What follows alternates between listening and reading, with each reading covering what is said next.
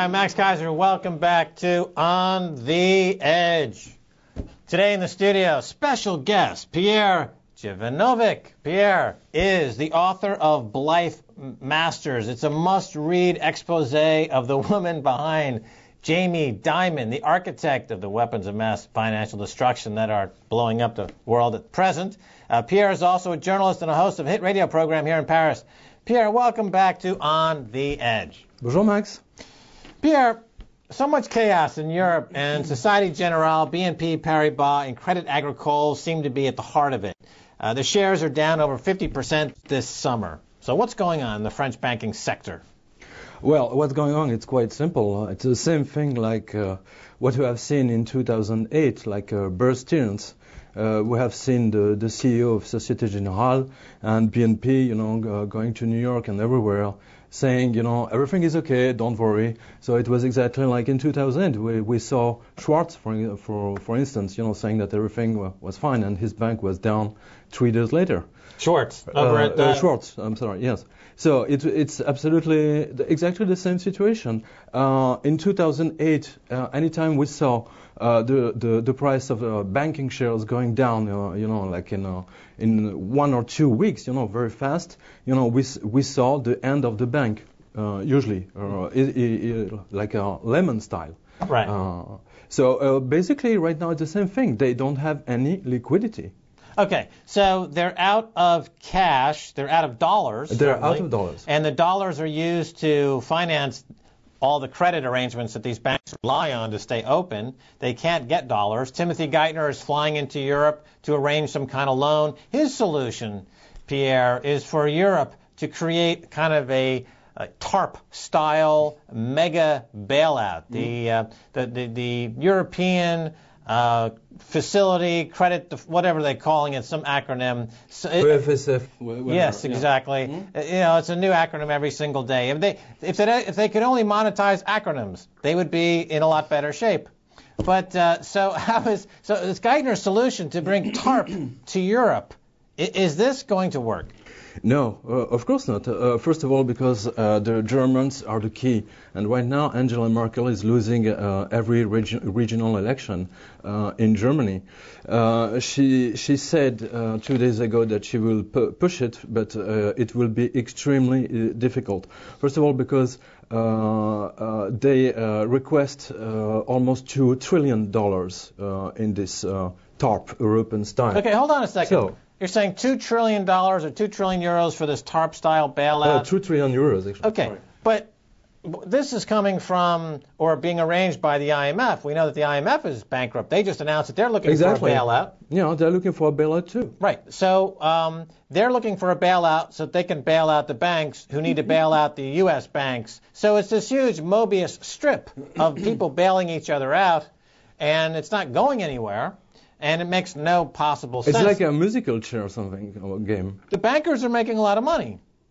Uh, yes, but at one point somebody is going to blow up. And uh, at that time, at that moment, it will be the end of the game. And it seems to to us here in Europe that we're very clo- close right now. Right. You know, at, at the moment, uh, at the French banks are locked out of the Chinese market. For instance, we we saw the other day, uh, you saw it uh, probably, uh, that uh, a big state-owned Chinese bank didn't want to uh, to deal with French banks anymore. So it's a huge blow for them. Uh, Lloyd's Insurance said they are, they are taking their money out. Uh, and we saw also, you know, the big French uh, uh, Mythic, uh, you, you, know, uh, taking his money out. Um, the reason, the official reason, is because the French bank, the, you know, didn't give them enough uh, uh, money, you know, to to on interest on, on it. Right. So, but uh, behind the scene, everybody knows the real reason. Some of the shares, you know, they are down like 60%. Hello, 60%. The, the, the capitalization of these banks, the market capitalization for a BNP or a Societe Generale, there are maybe 10 or 20 billion dollars, but they're sitting on hundreds of trillions of dollars in liabilities. We're at uh, basically, you know, the, the you know the, the main French banks, their capitalization is like uh, six uh, trillion dollars. Uh, right now, just on the on the pigs market, if I may say that, uh, the, their exposure Uh, I'm not talking about uh, credit default swaps, or anything, just uh, loans, regular loan or sovereign loans. Uh, they're like uh, one already like one trillion, j- just for Ireland, Italy, Spain, uh, etc. That's one trillion in liabilities for the so-called pigs nations. Right. The, uh, on banks, these are the liabilities. This is on their balance sheet for banks that, if you add them all together, have less than 100 billion dollars in capitalization. On top of that, they have 100 trillion. They're part of the 100 Absolutely. trillion derivatives Risk, monster, absolutely. the credit default swap monster, of which they are all a part of this as well. I want to return to your analogy of the musical chairs.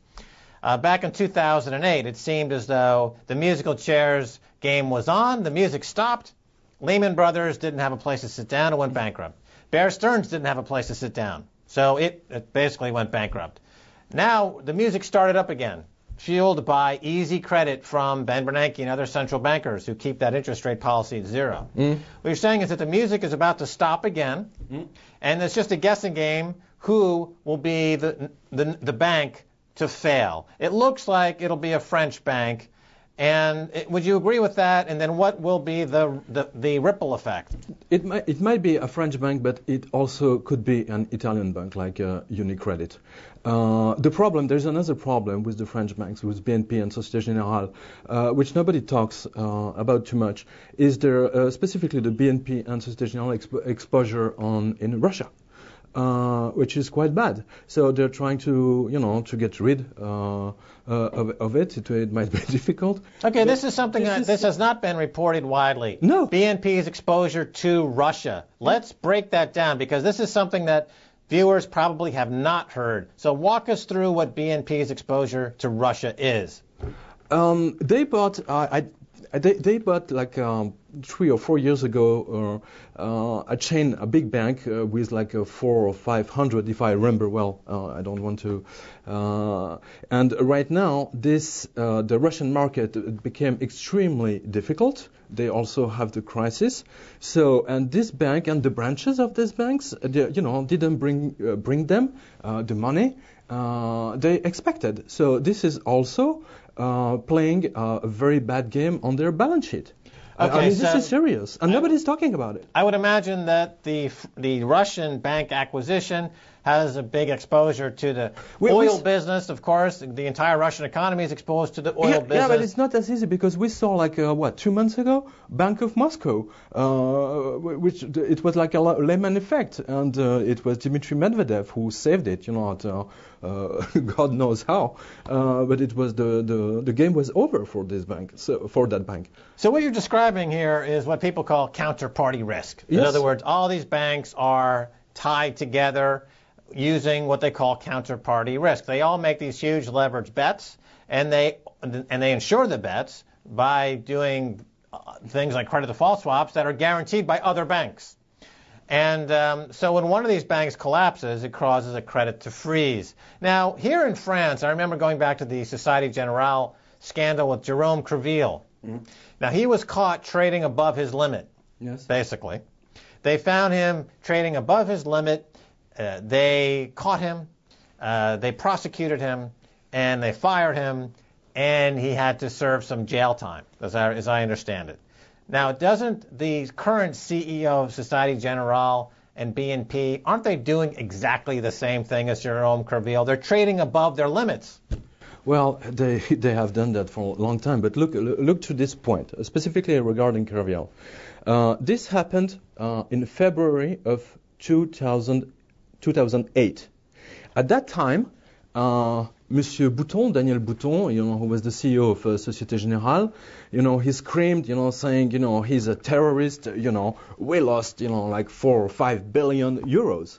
But if you remember well, and I do, uh, speci- specifically on that case, is that at the same time, uh, some banks in Singapore, um, you, uh, some Swiss, big Swiss bank, uh, German banks, uh, you know, they were all looking for a recapi- recapitalization, you know, uh, saying, you, you know, we're going to grow, grow, so we need more money. But in fact, they were already losing tremendous amount of, of money, but they, they didn't dare to say it. So right now, everybody knows what, what the game is, and they cannot lie as much as they lied in 2008. That's why right now, October, uh, October and November is extremely, extremely dangerous, uh, especially right now in Europe and in Paris. Now, isn't it true, uh, going on this Jerome Kerviel case, that as the result of the disclosure of his of his trading limit violation, the bank was forced to disclose some um, trades that they had on the books that they took were forced to take losses on, and the bank took some heavy losses for the quarter.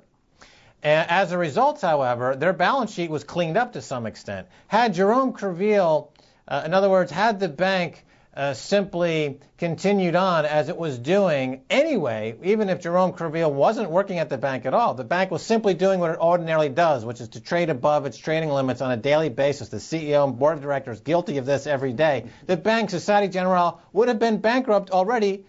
So didn't Jerome Kerviel, in a say, in a, in a sense, save Societe Generale from declaring bankruptcy at least for 18 months? well, that's a point of view, and it's an interesting point of view. Um, maybe, uh, but, but, you know, uh, you know what the the rule of the game. If you are not caught, you know. Yes. Nobody knows. Well, you wrote this So- book, uh, Blythe Masters, and of course, Blythe Masters is the uh, the woman on Wall Street who more or less invented credit default swaps. We have a, another female on in the center stage in, in the world of finance now, Christine Lagarde. Who Yes. is comes out of the Chicago school? She comes out of the neoliberal school. She seems to be cut from the same cloth as Blythe Masters. Is that a fair characterization? Um, um, Christine Lagarde is quite di- di- different. Uh, first of all, it's very interesting to see her speaking in French and speaking in English. She is totally fluent, of course, in, in English. When she speaks in, uh, in French, she is uh, like, you know, some marquise, you know, everything is okay, don't worry, blah, blah. And when she speaks in English, she's extremely sharp. She's very, very smart. Uh, there's a, strength. She, uh, she, she did a very, very good job, actually, uh, right now in, in uh, as a minister of finance in France. And I think she's going to do a tremendous job uh, at the IMF.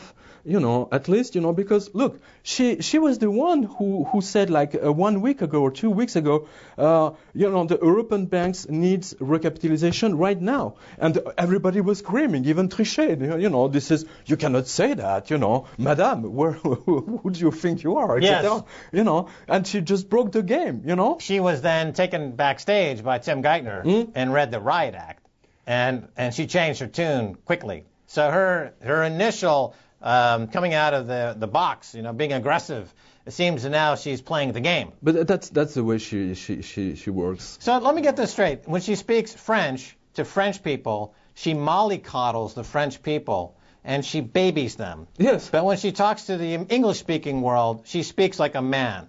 As a French person, how does that make you feel? I mean, it's very strange. It's like you, you know some uh, like uh, some uh, Roman uh, deity, you know, like Janus with a, a person with two faces. You know, it's very interesting. Uh, let's, let's talk about Sarkozy for a second, because during this recent chapter in the crisis, one thing that has uh, he has made a stand for, he seems very interested in saving Greece, uh, much more so than Germany. Why, why is that? yeah. Well, uh, we have uh, almost allez, uh, 57 billion of dollars of uh, uh, uh, risk uh, In Greece. So it says it all. You know, they'll, uh, you know, let's say that Societe Generale, BNP, and Crédit, uh, mostly Crédit Agricole, because Crédit Agricole bought, you know, uh, a, a, Greek bank with, uh, you know, like 100 or 200 branches, I don't remember. But they're just going to explode.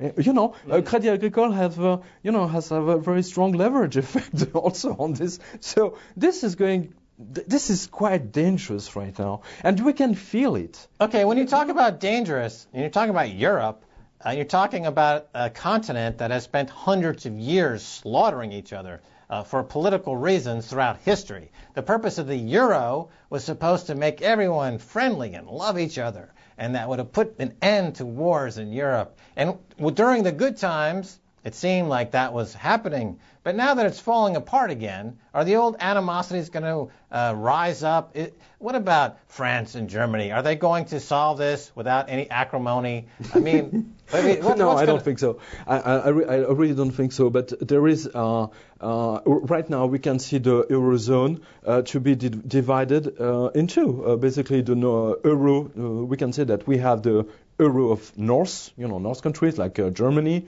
uh, you know, uh, uh Scandinavian country, and, and, and, so forth.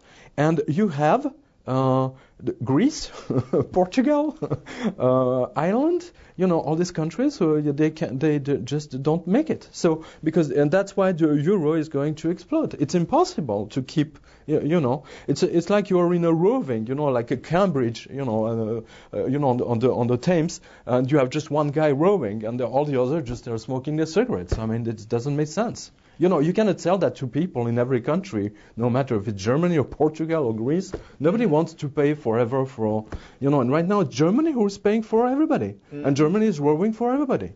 All right, let's let's talk about the various scenarios, and you know, let's see if I can name them all in terms of what could be the future for the euro. There'd be number one would be the euro remains intact and they save the euro. Number two is they split the euro into a northern euro and a southern euro, as you've just talked about. Mm-hmm. Number three would be that Germany opts out of the euro completely, and now they say we're a reunified Germany, we're going to bring back the Deutschmark, and we're going to go it alone. Um, and then another option would be that you start to see a splintering. Like Greece, for example, drops out of the euro, and maybe another country on a one-by-one basis drop out of the I euro. I think this is the the best scenario, the, the splintering, because uh, as you know, uh, Angela Merkel. Uh, uh has her elections uh, in 2013. Uh, so uh, let's say that somebody else is elected and somebody who is against the, the euro, you know, the game will be over. So we cannot, you know, we, we don't know because of all these elections. Uh, as as an American, you know, you think like uh, uh you, you know that because every time you know Republicans are uh, are leaving uh, and Democrats are in, you know, they change the whole thing. So in Europe, it's even worse most of the time. And the split, the splitting, you know, is the most I think, normal scenario in this case. But here's the big issue with that is, and we talked about it already in terms of counterparty risk. In other words, these economies are so integrated. Yes. It, they are mirror images of each other in terms of their balance sheets and the mm-hmm. risk and the way that this market trades. So to take a Greece out of the equation suddenly would be to something, it would be to put it in a French term, an existential nightmare. It would be like removing cold from ice, or you, you, know what I'm saying? Like they're so intertwined with each other. If you just take one out of the picture, you will have that counterparty explosion. So there has to be a group uh, effort. However, as you just described it, you've got Germany rowing in the boat. Mm. Everyone else is smoking, mm. especially in France. Mm. And uh, so it just it seems like we're headed for a brick wall and chaos. Yeah, I think it will be chaos. Um, but uh, uh don't forget this this point, you know, regarding the existential. Uh, Jean uh, Sartre said, you know, hell, you know, it's the others. So, uh, you know, this is typical European. We have it right now. Uh, you, you, know, um, Germany uh, cannot afford uh, to, you know, to lose all, all, all his ties with France and with uh, uh Denmark, Nor- Nor- uh, La Norvège, and the other countries. Uh, Germany can afford, you know, to lose Greece or Portugal, but they cannot afford everything. They cannot leave, you know, leave alone. But take an example of what happened in in, in the 30s. You, you know, République de Weimar. Uh, Germany needed to pay, you know, war expenses, and it just it was too expen- uh, expensive for them. So the, the the the the German central bank said, you know, okay, we're not going to pay. I mean, but we're going to to, to just uh, printing money and printing money and printing right. money, and uh, that made you know the whole Europe after the war. It was just a nightmare. Yeah, no, don't forget that. That's, That's quite interesting. Mm-hmm. So we're in the kind of uh, same situation. Ambrose Evans, uh, Pritchard from the Telegraph. Uh, yeah, from the Telegraph. He said, you know, I remember he, he wrote one time, you know, the Uh, the bad news is that we're in uh, uh, 1931. You know, the good news is that we're not in 1933 or 34. So, but right now we're in 33 or 34. So that I'm really, I'm really scared uh, of what is going to happen right now in October. I really fear a, a big explosion somewhere. Uh, e- either if, if it's Bank of America, Citibank, uh, Societe Generale, BNP, uh, Unicredit, w- one of those, or maybe something else, which is going to rip, uh, have a ripple effect. Mm-hmm. Uh, yes, as we've been talking about now, um, I've been reading a lot from James G. Rickards, who's a very well-read financial pundit in the U.S. and as well as a money manager, and he's coming out with his book uh, talking about currency wars, and yes. and he's really positioned. And this is something you hear more and more that there is this is a, a war going on. It's a currency war. Of course, it is a war. And similar to the 1930s, where, where the Weimar Republic, they inflated, they tried to inflate their way out of those war reparations that they deemed completely unpayable. Uh-huh. It created the Depression as we know it. Mm-hmm. Um, so um, why are policymakers so slow to respond, especially Ben Bernanke in the United States? He says he's a student of the Depression, and yet he seems to be stumbling into a repeat of the Depression. Uh, well, he he perfectly knows, you know, what he's talking about. So, uh, because he don't have the choice, you know, the dollar is dead. Everybody knows that. But the dollar is not dead. The dollar is being bought up in large quantities to unwind all these financial products. Yeah, but right, right now, you know, the dollar is like uh, Weimar Republic. you know, uh, this is absolutely a very strange situation. Uh, everybody knows that the dollar is doomed. Uh, everybody knows that the euro is doomed somehow. So you you need to you, you know you need to choose uh, between uh, cholera and uh, the AIDS. so it's quite. It's, All right, so you have to choose between, between cholera and AIDS. Uh, okay, well that's really? a, that's, a, that's an interesting choice. Uh, but I see your point. Uh, it's a lose-lose situation. Yes. After so many definitely, years it's a lose-lose the situation. Look, look, look what happened in Switzerland. I mean, this uh, they made this uh, weird decision, you know, to peg, you know, the, the the Swiss franc to the euro. My God, you know. Yeah. Right. Thanks God they have the Geneva Convention left. it's not just cuckoo clocks anymore. Well, that, you know, that's all the time we have for. We got to say goodbye. Merci, Max. That's going to do it for this edition of On the Edge with me, Max Keiser. I want to thank my guest, Pierre Jovanovic. Uh, pick up his book on Blythe Masters. If you want to send me an email, please do so at ontheedge at presstv.com. Until next time, this is Max Keiser saying bye, y'all.